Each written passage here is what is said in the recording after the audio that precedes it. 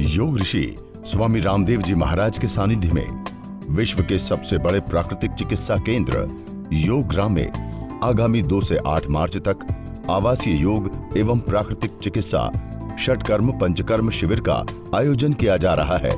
शिविर में योगा अभ्यास के साथ देश के सबसे प्रतिष्ठित नेचुरोपैथी चिकित्सक डॉक्टर नागेंद्र नीरज जी के साथ पूरे दिन प्राकृतिक चिकित्सा का उपचार चलेगा।